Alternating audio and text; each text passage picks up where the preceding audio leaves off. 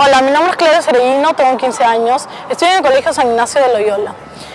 Yo quiero ser consejera porque quiero que la voz de nosotros, los adolescentes, sea llevada al alcalde. Mi nombre es Claudia Cerellino, voten por el número 12.